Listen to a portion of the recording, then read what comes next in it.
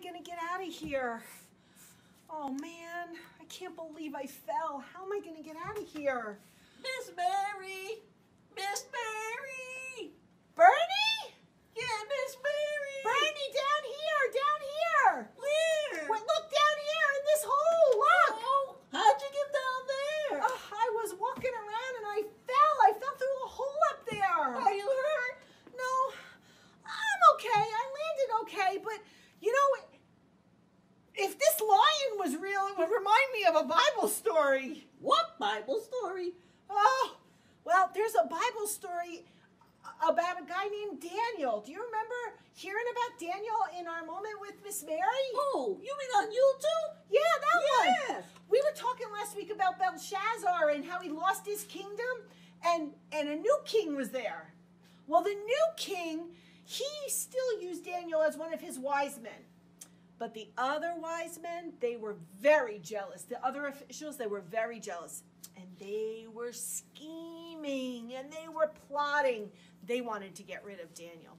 So they decided that they were going to do something. And they tried and tried, but they couldn't find anything. So finally they said, unless we do something that has to do with his God, we're not going to get him. So they tricked the king.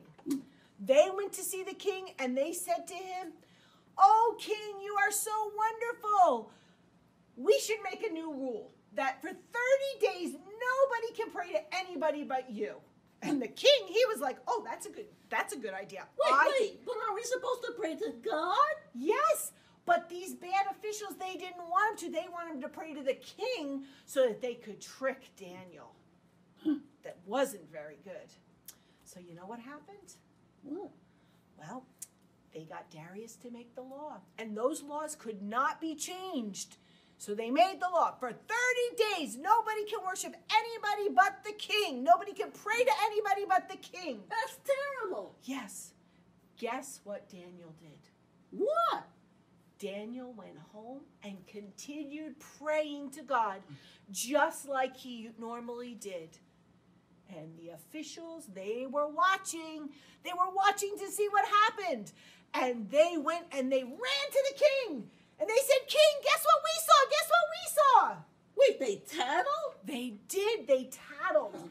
They ran all the way there and they said, Daniel, that guy that, that helps you, he's home praying to his God. You made that law, king, and he's not following it. No. Well, Darius, the king, was very upset. And he was like, hmm, how can I get this to go away?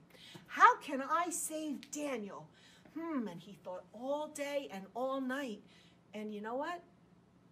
He couldn't find a solution. He said, I can't do anything. Daniel has to go to the lion's den.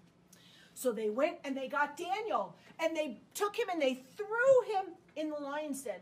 But before they did that, the king said, Daniel, may your God, who you serve continually, rescue you.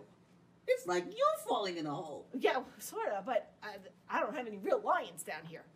But Daniel stayed all night. They closed the lid and he stayed all night in the lion's den. And the king didn't sleep too good. He got up and he, in the morning, he ran to the lion's den. Daniel, Daniel, servant of the living God, did your God rescue you? That's what he wanted to know. And Daniel, do you think Daniel said something? What do you think Daniel said? Do you think he said something? He did. He said, Oh, king, live forever. My God, my God. He sent his angel and he shut the lions' mouth. Wow. God did that. And the king, he was so happy. He brought Daniel out of the lion's den and he said to everybody, Everyone must serve and fear the Most High God, the God of Daniel. What? Wait a second. I just remember we have to get you out of there. Yeah, uh, yeah, that would be a good idea. Yeah, I will remember in our Bible story, but we got to get me out of this hole. I know. I'll get a rope. Okay, I'll, I'll see you. right back. Don't don't forget me. I won't. Okay, okay. Hmm, you know, that story kind of reminds me that I need to be like Daniel. You know, I need to be strong and to stand for God. you know, sort of like these rocks are hard and they're like cement, they're really hard and they don't move. I need my faith to be like that. I need to stand for God and to have faith in Him. I need to pray no matter what, whether I'm home or at school or at church or at the restaurant having dinner.